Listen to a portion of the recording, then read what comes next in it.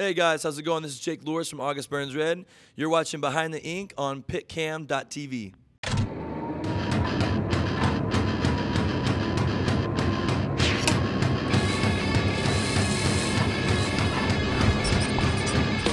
Hey, I'm Monica with Pitcam, and I'm here with Jacob from August Burns Red. Hey. Hey, how's it going? He's going to tell us a little bit about his tattoos.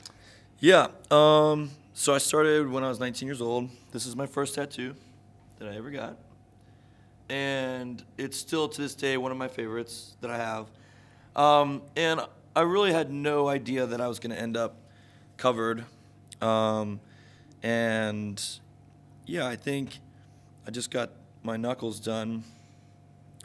Uh, Your Life, um, Forgiven, which has a lot to do with my faith. Um, I believe we all have a life to live and we all have purpose.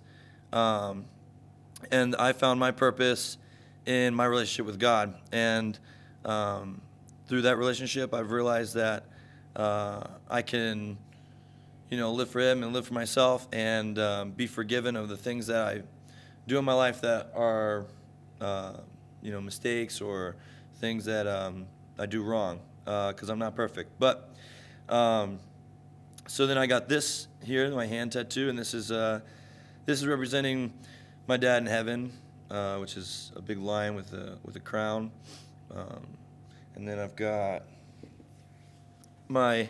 I'm pretty proud of this sleeve. I think this is, I don't know. There's a lot of pain, a lot of hours, um, but basically it's an ocean, which is the world, uh, and then there's sharks that are just um, having a killing frenzy. You see a couple hands, some legs in there, just going to town.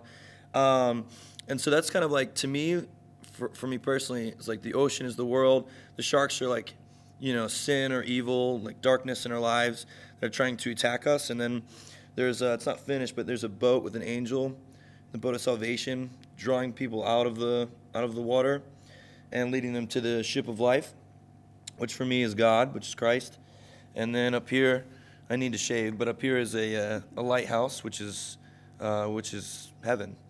So um, this means a lot to me as far as just um, what personally, like my life, what I've gone through, and and what um, where I've been, and then what I believe in, um, which is important to me. Because if I didn't believe in God, I think um, I'd be a much different person than I am today. And so I'm thankful for that relationship. Uh, so obviously you can see that because it's tattooed all over my body. um, yeah, and then I have um, this anchor I got when I was 20 years old. Um, and basically what that meant to me was never letting anything um, hold you down. You know that, you know, obviously an anchor, uh, when thrown over sea um, for a ship, it keeps it stable in, in one place and anchors it down so that it can't move. And I think that is, I think that that's a bad place to be. I think that we're not meant to just sit. We're not meant to just stay in one place in our lives. We're meant to grow, live, move, um, take risks, um, be willing to sacrifice things, be, be willing to be stretched, um, you know, learn from your mistakes, um, run, run from, you know, um, addiction in your life or to uh, go and tackle your dreams and the desires of your heart. Um, but if you let certain things in your life, maybe things in your past, addictions, pain, suffering, divorce, whatever, you know, broken heart, um, that can be an anchor in your life to keep you where it wants you to be. But um, if you can overcome those things and realize that, you know, hey, you know, let's say you drink a lot, you know, you drink every day. It's like, okay, I'm drinking every day and I wake up and I don't have the ambition or motivation my brain isn't clear. You know, I'm not I'm not really reaching for what I what I, really want in my heart. You can start to see that alcohol in your life is an anchor, um, that it's that it's keeping you down. So maybe you want to, um, you know, not have that in your life. Uh, that personally is something I'm saying out of an example because I've experienced it myself. Not so much that I'm just telling you a story. Um, but yeah, you know, to me, honestly, uh, I wasn't raised uh, in a relationship with Jesus, but um, I found that relationship when I was 21 and I wanted to commit suicide, and He really changed my life around. So, um, and another thing is that God's never abandoned me.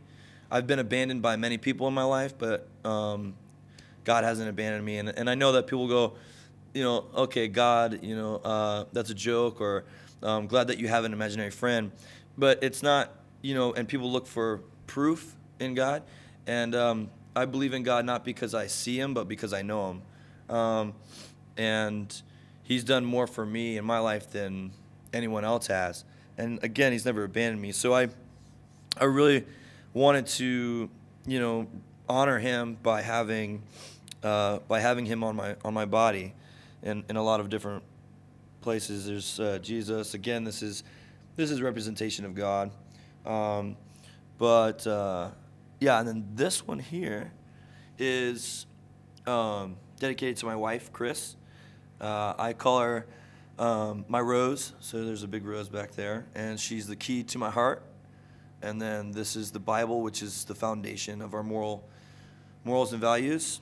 Um, and I think that's uh, this. This is a, a dove for the Holy Spirit. And then I have my chest done, which says "Live by the live by the Spirit."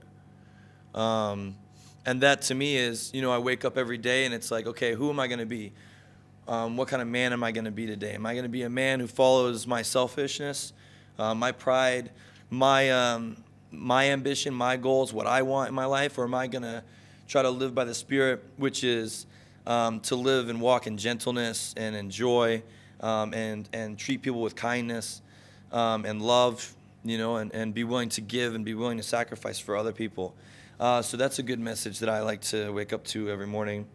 Um, and then the last one that I'll show you guys is uh, this is a joke, well, not a joke, a friendship tattoo for my friends in, uh, in San Diego, California.